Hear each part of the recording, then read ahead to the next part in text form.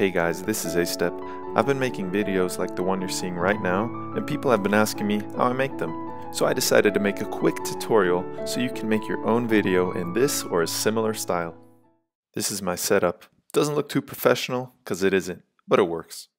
So I lay my phone on top of my window to record myself playing and use that recording for the bottom videos of my covers. I put an extra book up there so I can make my phone lean over the edge a bit more to be almost straight above the piano.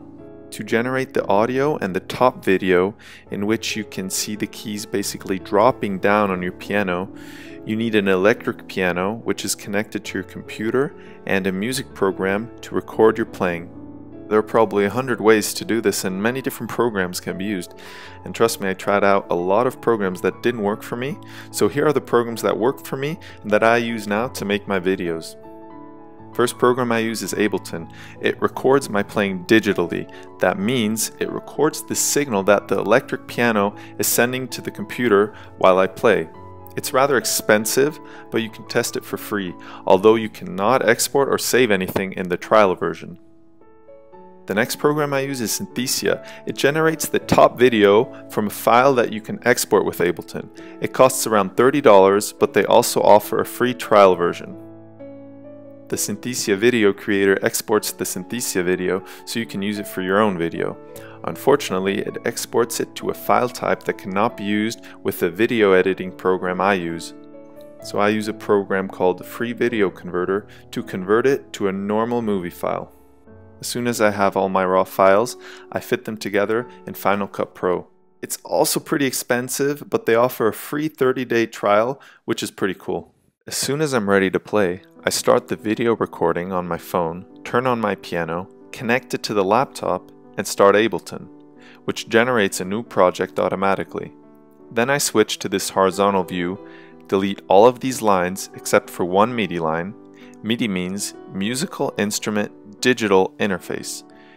You can check that out online to learn more about it.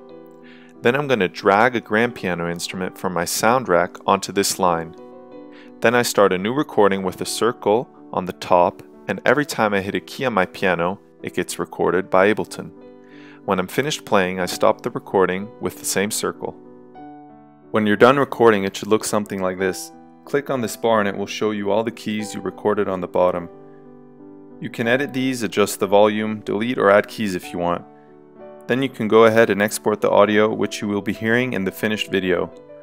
I leave the settings as they are. And then it will take a few minutes to export.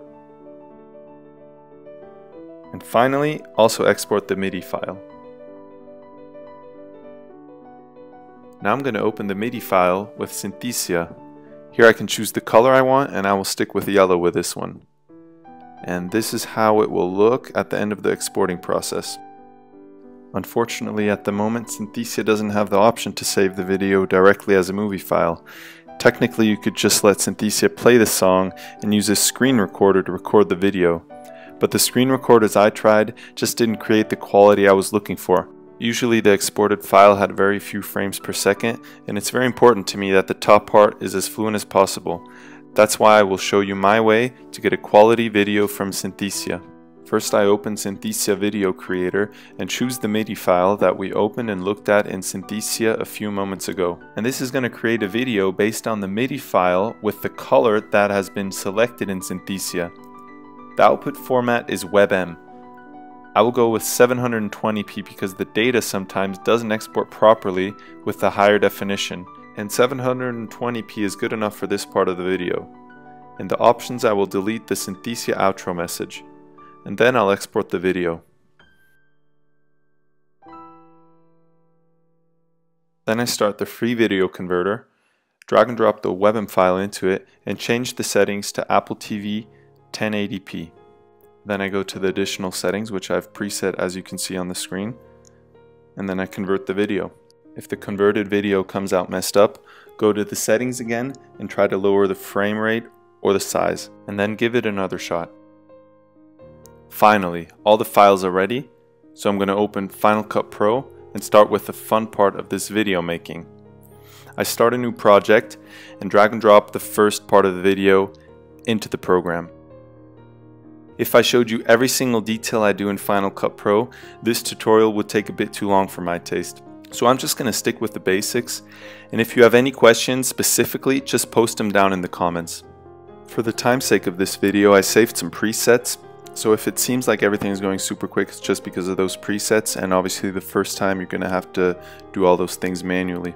To create the effect that only my hands and the piano are visible in the bottom part of the video, I put some dark things beneath me and the piano when I was recording, and now I can go to the color settings of this video and lower the brightness a little bit.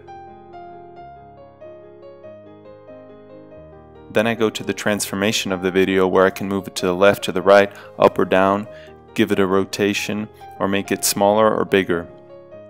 The third and final thing I'm going to do is distort the video a little bit so the keys are vertically aligned.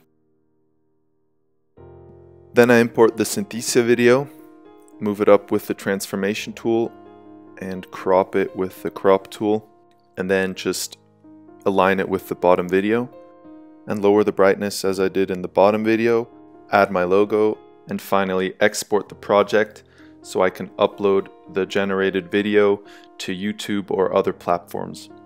I leave the settings as they are, save the video in the preferred location, and wait around 3 to 5 minutes depending on the speed of the computer, and bam, there we go. So that's all for my first ever tutorial. I hope you could get some value out of it. Post your ideas for improvements and also questions right here in the comments so we can exchange information and learn from each other. And please send me your covers in this style. I'll be happy to watch them. And check out my Instagram or Facebook on which I post my piano playing progress. Thanks so much for your support. Thanks so much for watching. Yours truly, Astep.